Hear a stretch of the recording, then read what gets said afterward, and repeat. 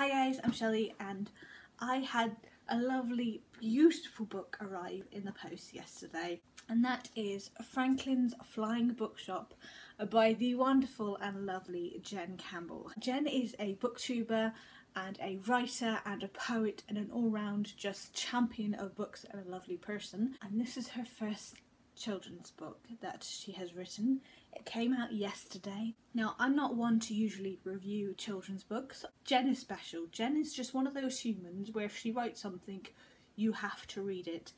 And goody, goody, goody, just all the goody thoughts and all the loveliness. So here it is. It's beautiful. It's illustrated by Katie Harnett, who is magical. Here is Franklin. He is a dragon and here is his little friend Luna, who I have to say reminds me of Morag. Have you ever read the Morag books with flaming red hair and she has a, a woolly jumper on. It's kind of like the Argyle jumper that Morag uh, wears and it's just giving me all the feels of when I was a kid. And just look how pretty we have. We have the shiny. We have it's really big as well, so really good to uh, hold and everything. It's just it's physically really pleasing. Does that make sense? Franklin is a dragon, quite obviously, who loves books. He loves stories and his aim in life is to find somebody to talk to about all the stories in his head. But he's a dragon and he scares everybody. What a surprise. He goes towards people and they're just like, ah, dragon, get away from me.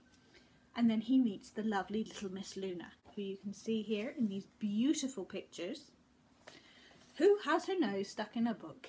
She looks up, she sees Franklin, and it's a dragon. She's not scared of it though because the dragon is in her book. She is reading about dragons right now and they become fast friends over stories and things that they love and they decide to open a bookshop. And I won't tell you the rest because let's have a little bit of mystery in it, shall we?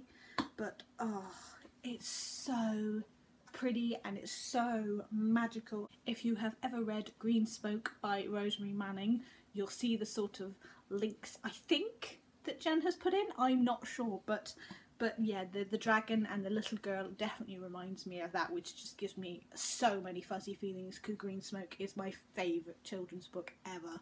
What I've found a connection to reading it as an adult is I could just be putting this into the book and it's not actually there. But I love the fact that Luna, as a little child, can look past the fact that she's talking to a dragon and they have become friends because of books, because of stories. It explores friendship through stories, which I love. I love the fact that you can have nothing in common with somebody and yet if you like the same book, you're friends. If you like stories, you're friends and somehow you can just cross massive divides because you love the same book and I think that might be like a hidden message inside the book or a kind of hidden moral. I hope it is and I'm not just reading into it. And I wish that this had been around when I was a kid, but it's around now and I get to read it. I will leave links down below to Jen and to where you can get signed copies of this. I may have bought a signed copy just because it's so pretty. It's completely adorable and I'm sort of in love with it. I hope you guys are good. I hope you're having a magical flying day. I'm just hiring cute stories now. Bye. Puff the magic dragon lived by the sea. Da da da da da da dum, ba, ba, da, dum. Pooh!